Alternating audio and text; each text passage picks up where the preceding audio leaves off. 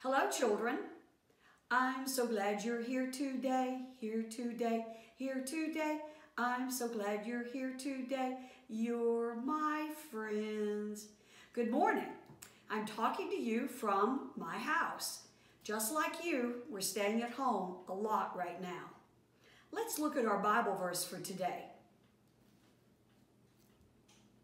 Blessed is the one who comes in the name of the Lord. Hosanna in the highest heaven. Matthew 21, 9. Say that after me. Blessed is the one who comes in the name of the Lord. Hosanna in the highest heaven.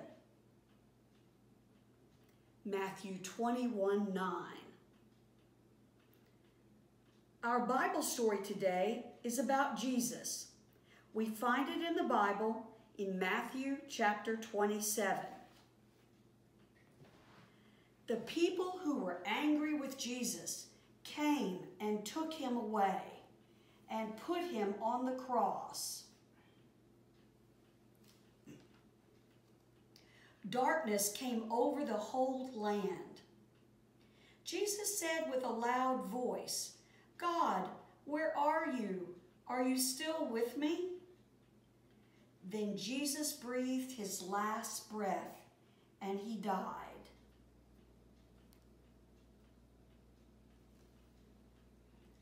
The curtain of the temple was torn from top to bottom. The earth shook.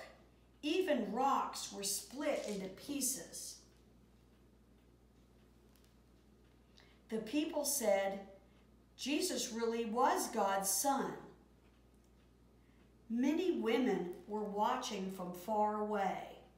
They had followed Jesus from Galilee and had taken care of him. Joseph of Arimathea took Jesus and wrapped him in a cloth and put him in the tomb. He rolled a big stone across the entrance to protect Jesus' body. Everyone was sad. The women stayed close to the tomb.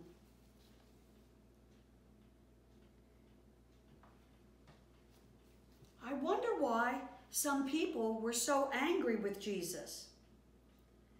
I wonder what the people thought when the sky turned dark in the middle of the day. Imagine sitting with the women outside the tomb.